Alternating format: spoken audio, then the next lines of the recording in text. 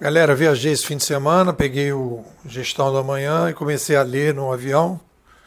Li a introdução e tem uma discussão que eu acho que é importante. A gente então vai abrir a temporada no grupo avançado sobre esse livro, tá? Depois vai, vai chegar nos grupos abertos e no grupo intermediário.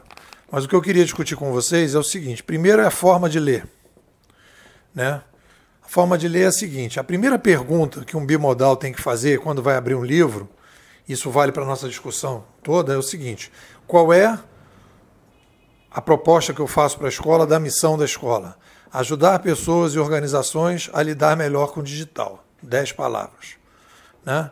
Então, a pergunta é: como é que esse livro vai ajudar os nossos clientes nesse, nessa missão? Então, a primeira pergunta que a gente tem que fazer é o seguinte, e aí que está a discussão principal: é um bom guia ou não é um bom guia? Ele está pegando a questão central, ele está pegando, ele está ele vai ajudar as organizações a se preparar para o pior, ele vai ajudar as organizações para o processo competitivo ou ele pode atrapalhar nesse processo. Então, a primeira pergunta que a gente tem que fazer é o seguinte: é um bom guia? E aí eu digo, não é um bom guia. Por quê? Porque de cara, você já qual é a proposta dele? Qual é o diagnóstico dele? Estamos vivendo uma revolução industrial 4.0, que ele vai tentar justificar isso no livro. Né? Esse, essa revolução industrial 4.0 é fruto de, tecno, de um conjunto de tecnologias, isso está lá na introdução, né? e que isso é o grande motor que as empresas têm que se preparar e vamos então ver como é que a gente se prepara para esse novo mundo. Então a primeira coisa que eu quero chamar a atenção que é o primeiro passo para a gente discutir qualquer livro, e essa é a proposta que eu vou ter daqui para frente em todas as minhas leituras bimodais, é qual é, qual é o epicentro do livro para a discussão? Qual é o diagnóstico da era digital? Na nossa visão, ele está acertando em que pedaço do alvo? Está longe, está na mosca ou não está? Dentro da nossa aposta. Ok? Então ele não está percebendo isso. Ok? Ponto. Então, do ponto de vista de pergunta, é guia ou não é guia? Não é, um, não é uma guia, não é um guia. Ok? Beleza. Ah, Nipô, então vamos jogar no lixo fora? Vamos jogar o, li o livro no lixo? Não, peraí.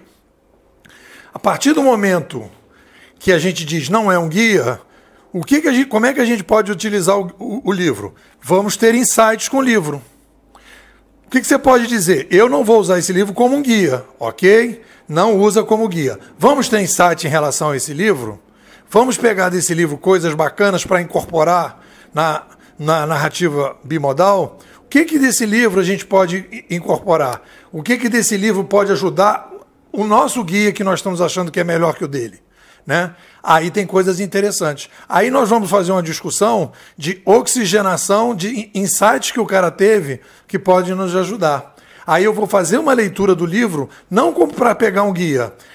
A gente continua com a nossa visão, porque aquela visão ali, na minha opinião, pegou dentro do labirinto digital alguns corredores equivocados, que depois eu vou falar disso, mas eu tenho algumas coisas ali que eu estou tendo insights bacanas. Então, a gente pode trabalhar, a gente pode começar a trabalhar com esse livro o seguinte, vamos pegar insights para iniciar essa discussão. Logo no início tem uma discussão interessante que ele fala de ponto de bifurcação. Ele vai pegar da física uma coisa chamada ponto de bifurcação, em que determinados momentos da física você tem um, alguma coisa que acontece que abre o ponto de bifurcação. Ponto de bifurcação, eu acho um bom conceito para a gente trabalhar né, a bimodalidade, dizer que uma revolução midiática gera um ponto de bifurcação. Pronto, incorpora esse conceito. Entendeu qual é a ideia? Vamos falar mais sobre esse livro ao longo de março. Um abraço.